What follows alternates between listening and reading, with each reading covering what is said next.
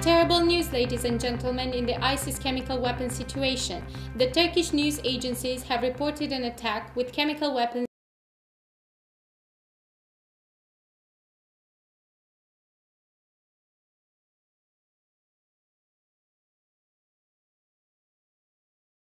The UNODA has sent a team to assess the nature of the attack and has this to state.